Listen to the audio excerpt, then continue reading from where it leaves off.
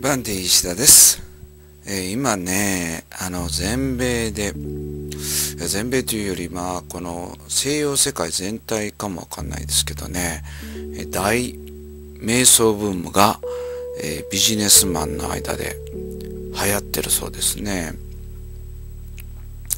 あのーメディテーションですね。マインドフルネスというんです。えーこれはですね、僕もね、ラジオの番組でね、この間あの、大阪にマインドフルネスのこの、うん道場ができたので、えー先生に取材してきましたけどね、えーこの瞑想というとですね、あの昔はどちらかというと、こう、アート系の人がやったりとか、もちろんこのバックグラウンドにこの宗教とかがあるもんですから、えーどちらかというとこうビジネスマンというのは敬遠されがちな抽象的な感覚だったと思うんですよね。でそれが最近になって、えーまああのスティーブ・ジョブズさんがね座禅をしていたということでこれはすごく有名になりましたけどそれからビル・ゲイツさんでまああの瞑想する人で有名な人っていうのは、まあ、たくさんいてだ特にアーティストとか俳優さんとかにはいっぱいいて、えーもちろんビートルズですよね、えーまあ、1960年代から瞑想されてますし、えー今ね生き残ってるこのポールとリンゴは、えーデビッド・リンチのね瞑想の財団でこの心がね、えー問題を抱えた子供たちのための瞑想の運動なんかやってますしマドンナが瞑想することは有名ですしレディー・ガガはもう瞑想をしているビデオをねあの YouTube に公開したりしてますし。でまあこれはみんなアート系の人ですけどね。でこの IT 系の人たちっていうのが、えー瞑想するということでこのアップルとか Google とかインテルとかいうこのシリコンバレー一帯にある IT 企業の方は、みんな瞑想今始めてるということで。でなおかつねそれにとどまらないのがこのサンフランシスコのこのシリコンバレー一帯じゃなくてニューヨークのウォール街のねゴールドマン・サックスなんかがこの瞑想を研修に取り入れると。これね今までなかったことなんじゃないですかね。もちろんその人間ですから悩んだりこう苦しんだりするわけですからその自分を精神衛生を保つためにビジネスマンがねこうプライベートで瞑想するお金の世界に生きてる人がプライベートで瞑想するっていう世界はあったんでしょうけど会社を挙げて瞑想するというのはなんかこうそういう文化とは相入れないものというイメージがあったんですが今そういうことが起こってるんですね。大瞑想ブームですよ。もうなんかこうと天地がひっくり返るがこう瞑想の歴史からすると天地がひっくり返るような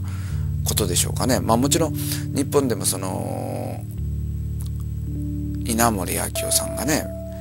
瞑想することは有名ですし松下幸之助さんが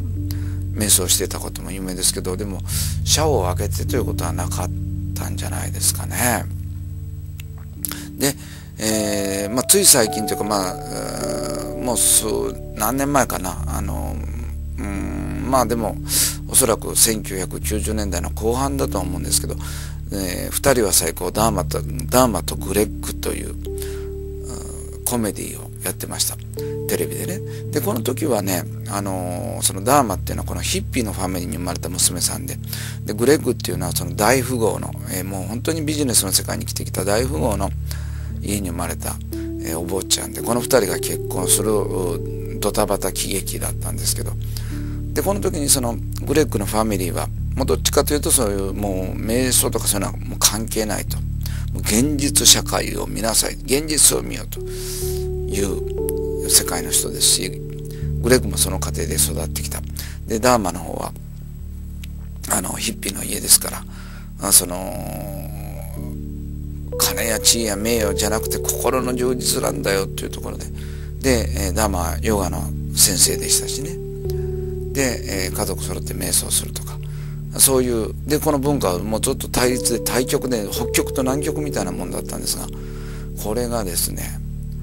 そういうこう切った張ったのビジネスの世界の人が瞑想すると。でこのマインドフルネス。これはですねだからその座禅とか禅とか日本の禅ですね。これをベースにメソッドが作られているわけなんですけども。そこに科学の裏付けをしている、まあ、医学ですよね。脳科学とか。それからそういったこう精神科学とかそういったものが入ってきてるんですよね。でそれで裏付けをしてで、えー、心を調整すると。それで生産性を上げようというのがそういう企業の趣旨なんでしょうね、うん、この動きってどうなるんでしょうね。僕は、まあ、自分が瞑想する人間ですね。どっちかというとだからこう切ったはったなビジネスの世界というよりは抽象的な脳みそを持ってましてうんなんで自分はこの世に生きてるんだろうとかこの世界はどっから来たんだろうとかそんなことばっかり考えてて。でそれを我慢できないから音楽を作ったりとかこうやって喋ったりとか、えー、するわけですね。でそれでそのエネルギーが枯渇するから充電のつもりで瞑想するわけです。今こうやって喋ってるのもねもう全部即興で喋ってるので、まあ、最初のうちだけはね意識的にこのテーマで喋ろう。今日はじゃあ瞑想ブームが起こってるね。だから喋ろうということで喋り出すんですけどもえー、喋り出すとこう口が勝手に喋り出すのに任せて、えー、どこまで喋るかいつまで喋るかわからないけども、えー、この口が喋ってることをもう一つの心自分の本体みたいなところが聞いてる。これを僕は自分で喋り禅と呼んでるんですけどね。まあそんな形で瞑想してます、えー、電車の中で釣りが捕まりながらあ今こう電車に揺れている。僕は立っている、えー、人々といる、えー、人々とまあ僕は一体なんだ。電車と一体なんだ、えー、強いて言えば全世界と一体なんだ。っていう感覚になるべくなるようにして瞑想をしていたりとか、まあ、座席に座ってる時もそうですしそれからインタビューの仕事をしてる時はもう瞑想ですよね。なるべく相手と自分が一体なんだと思ったり、え、もちろんねこのいろんな形の瞑想があるわけなんですけどね。で、えー、それがこう今マインドフルネスという形で表通りというんですかね。だからこうアート系とかそういうアウトサイダーのものだったサブカルチャーだったものがサブカルチャーじゃなくなってきた。一時ねオウム真理教の事件があったりしてなんかそういうの怖いもんじゃないかとかいうのがあったと思うんですけどそれを宗教っていうのを外してあの心を健康にするメソッドだよということで本当に表通りに出てきたのが今のジネスマンを中心とした瞑想ブームなんでしょうかね。でねこれはねまだ日本にはそんなに入ってきてないと思うんですよ。でもねあの瞑想という単語で瞑想ニュースなんて言って入れるってインターネット引くともう2016年の1月から見てたんですけどこうものすごい量のこの瞑想のに関するニュースがあって。でね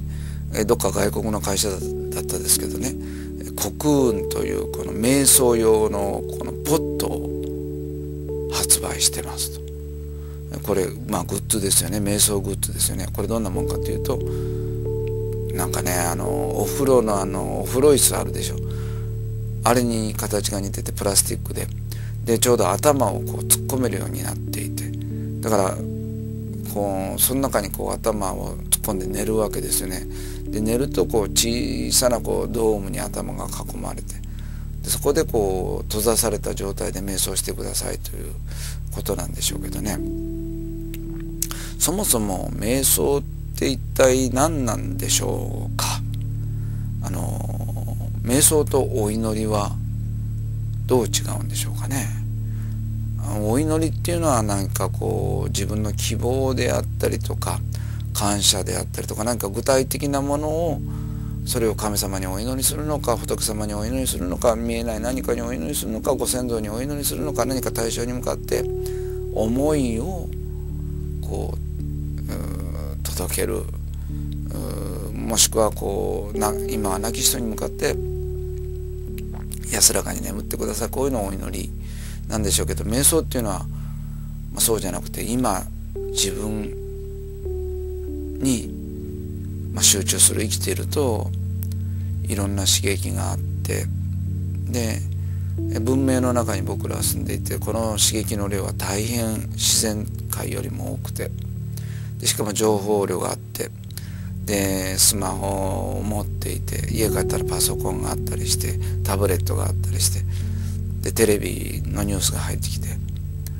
で人の話がいっぱいいっぱい耳から入ってきて。で不快なものも見たりして。で、えー、心にはどんどんどんどんこう刺激がこう許容量を超えて入ってきて未消化の情報が頭の中に溢れてきて。それをこう一旦自分一人になっていろんな情報を遮断することで自分と向き合うことでそしてえこう判断をしないで今置かれてる状態をそのまま認識すると。で何をやってるかというと心の曇りを取るというかこうえー、瞑想のニュース見てますとねちょうどパソコンのメンテナンスに似てますよなんてことも書いてましたけどこうお天気と一緒でね毎日晴れじゃないわけですから雲がいっぱいになってきたりするわけですよ。伝日光が差し込まなくなってきて。そうなったらその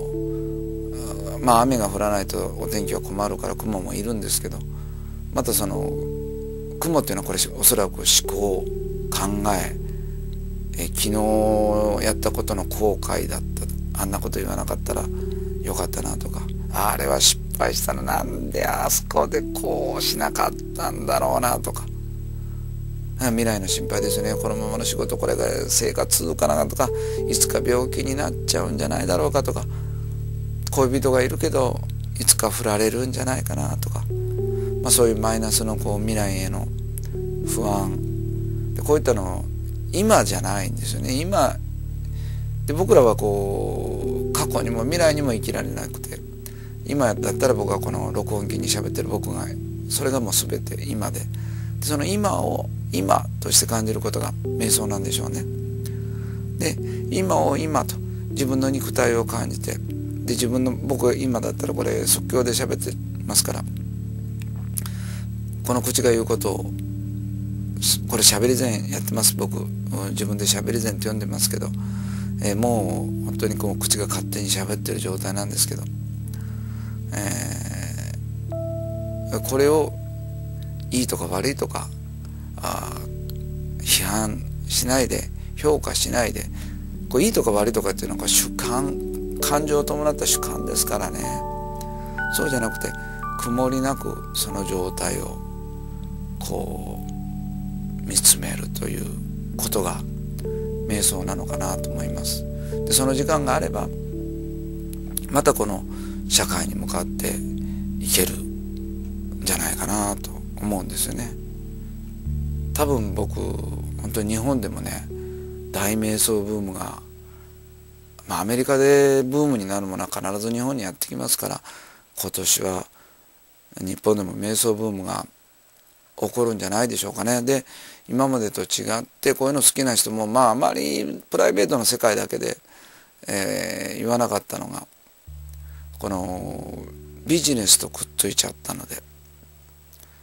で社会人はまずビジネスありきみたいなとこあるので。なんか大ブームになってくるんじゃないですかね。まあ本屋さん行くとねなんかいろんなハウトゥー本が置いてありますけどこれから瞑想の本が健康法としても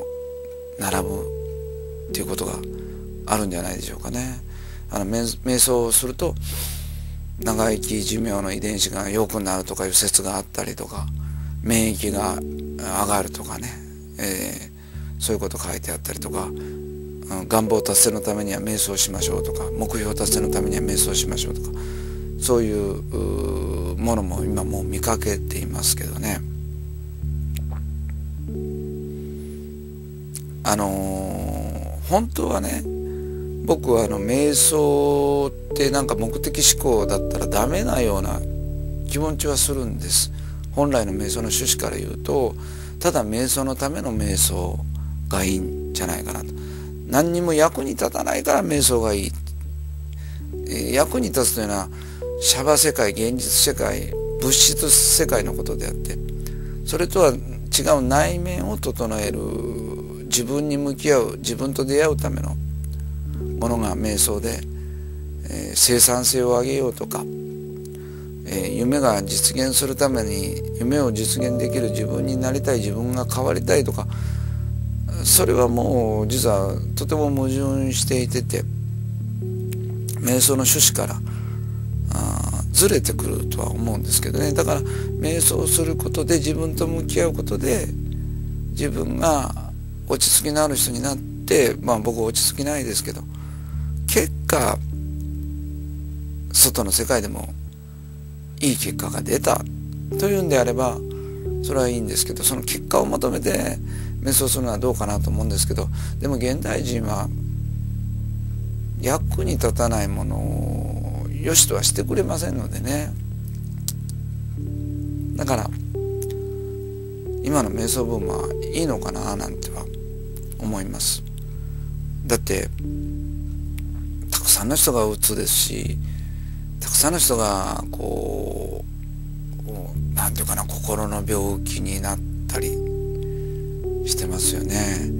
あの変なことして捕まる人今多いんですけどね学校の先生があの生徒裸にしちゃったとか言って、え、ニュース最近あって見てたんですけどでその時にねその先生とか教育側の人たちの責任を問うけども生徒は被害者ということでそれは当たり前なんですけどでもなんで先生がそう狂っちゃったのかという話題議論があんまり起こらないので。だから狂っちゃったからそういうことするわけでまともだったらそういうことしないわけで。ということは狂う原因があるわけですよ。そこをどんどんどんどんこう締め付けていってこれあれはダメこれはダメってこうダメ出しばっかりやってるとね。世の中がどんどん住みにくくなっちゃうんで。じゃあ先生狂わないように学校の先生も瞑想しましょうとかね。あであのー、なんかこう教育機関のニュースでねあの受験勉強しすぎると今度頭が混乱して脳がおかしくなっちゃうからあのー、ある程度勉強したら瞑想をおすすめしますなんていうニュースも出てましたよ。さっきあのニュース見てたらね、まあ、そういう感じでこう教育にも入ってきたり。で今あの日本の大企業でもねこの瞑想を社員に取り入れるところが出てきてると思うんですけどそのうちだんだんこうあの中小企業とかにも入ってきたりするようにな気がします。で日本でもその例えばこう滝行用のシャンプーハットにが発売されたりとか瞑想用 CD が発売されたりとかまあまあまあすでに出てますけどねそういうことがこうビジネスにもなってくる時代が来るんじゃないかなと思います。でそれはもう総じていいことでしょうね。うん、いいことだと思います。集中する一体になる。これ、えー、とってもいいことだと思います。でもねこれにこういうことが起こると必ず反論っていうのが出てくるんですよね。12月16日付でしたっけ。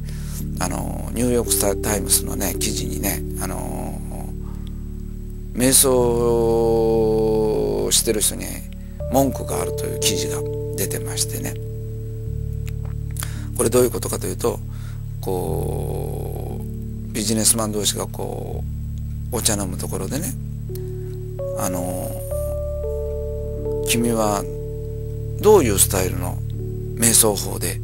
心を整えているの？なんて聞かれるけど俺は瞑想なんかしてないよって。えじゃあそれは良くないよって。今のビジネスマンで瞑想しない人なんて時代遅れたから君も瞑想しなさいって。いやほっといてくれと。しつこくつきまとわないでくれと。そういうこう瞑想をこう布教して回る勧誘して回る人に迷惑してるという記事が出てました。これね瞑想って強要されたりしてできるもんじゃないと思うんですよね。なんとなく自分の方からこう心を落ち着けるためにやろうかなって。いうのが瞑想だと思うんでね。だから自分がいいと思ったからもう人に勧める。これね今の現代僕なんかでもねあのー、なんかこう自分がいいと思ったらなんか勧めてくる人いますけどね、うん、人に勧められたもんやりたくないっていう僕なんか性格ありますから。まあ素直な方もいらっしゃいますけどね、まあ、そういう意味ではよし悪しで研修で瞑想させられたらやっぱり苦痛でしょうしね。何何かがあっててその自分を落ち着けるために自主的にする瞑想だから瞑想が瞑想に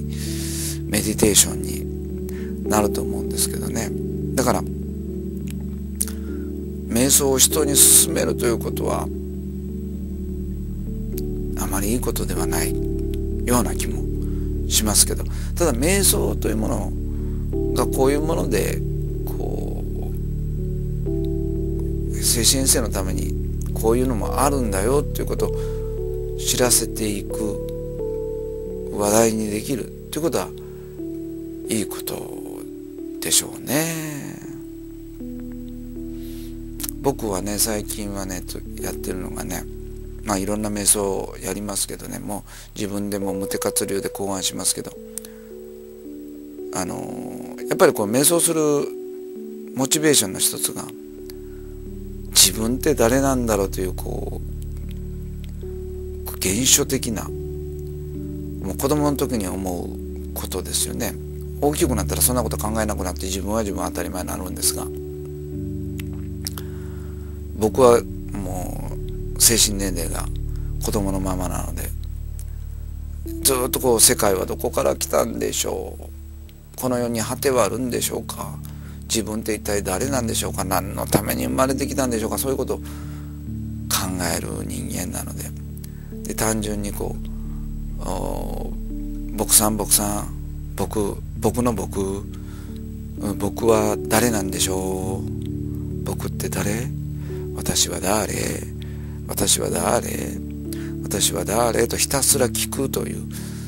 瞑想をやったりしますね。この瞑想何の役にも立たないんですけどね。でもねこうまあ健在意識と潜在意識があるっていうじゃないですか。そしたらこう健在意識の側ですよね。僕は誰って聞いてるのは。だから潜在意識が答えてくれるんじゃないかなと。実際は答えてはくれないしそれからそういう質問に対する答えって言葉じゃないもんでしょうからね。でもそれを繰り返してるとね頭の中が少しスペースが開くような感じになったりもするんですよ。うん、馬鹿げてますけどね自分は誰自分は誰僕は誰僕は誰で瞑想はやっぱりねでもやっぱり趣旨から言うと何の役にも立たないけど瞑想するっていうのがいいのかなと思うんですよね。まあ悟りへの道僕悟りたいですけどね悟ったら何も怖いもんなくなるんだろうなとか思うんですけどね。でもまあ生きて肉体がある以上はやっぱり悟れない。でも悟ろうとする。でそれはうん実社会現実シャバの世界でこうこういうメリットがあるとかいうもんではないような気がするんです。でもやっぱりこの瞑想ブーム歓迎ですね。か社会が人間が人類がこう忘れていたものが、うん、違う衣をまとって今は科学と生産性というまあ大義名分のもとに、えー、瞑想という文化がルネッサンスしてるんでしょうかねバンディ石田でした。